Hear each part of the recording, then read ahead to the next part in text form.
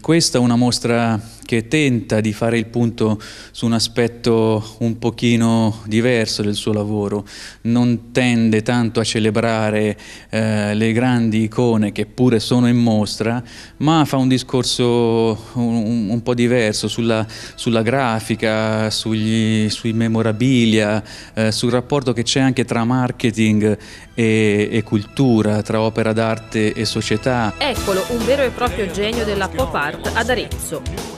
Le opere di Andy Warhol sono pronte e sabato, ospitata dalla Galleria Comunale di Arte Contemporanea, partirà l'esposizione, che mette insieme pezzi di diverse collezioni private.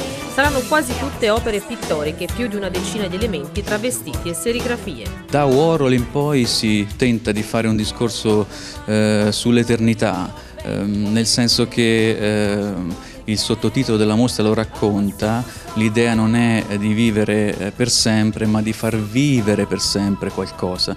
E questo qualcosa è l'idea stessa, è l'opera d'arte, è l'immagine, l'immagine dell'opera che diventa però strettamente legata al contesto sociale, quindi una sociologia eh, estetica che poi conduce eh, a celebrare l'artista stesso eh, conduce a, immortalarlo in una specie di eh, dimensione che appunto eh, lo consacrerà eh, nel futuro, nel futuro della storia dell'arte ma nel futuro della società contemporanea. Perciò un pensiero anche filosofico e tra l'altro una chicca alle ricette. Sì, un pensiero filosofico perché eh, Andy Warhol è stato uno sociologo dell'immagine che ha fatto attraverso la grafica eh, tutto un discorso eh, sul vivere contemporaneo. Naturalmente quando dico contemporaneo ci si riferisce alla metà degli anni 50 ehm, eh, in America.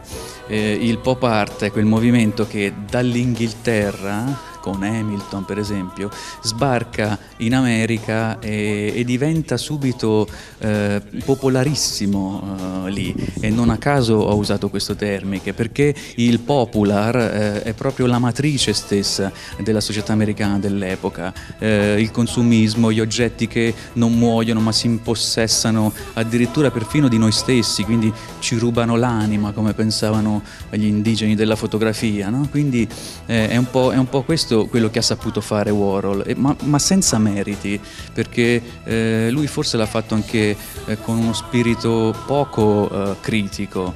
Ehm, in questo senso lui eh, era abbastanza glaciale lui stesso ehm, pretendeva di descrivere questo eh, flusso di senso che attraversava tutta la società americana dei suoi anni in maniera eh, acritica, ehm, quindi quasi elogiava a volte questo sistema che determinava il successo delle persone e, e se ne fregava del consumismo in sé, del problema consumismo. In effetti quella mh, è stata una tematica che è stata raggiunta eh, dopo dal senso comune.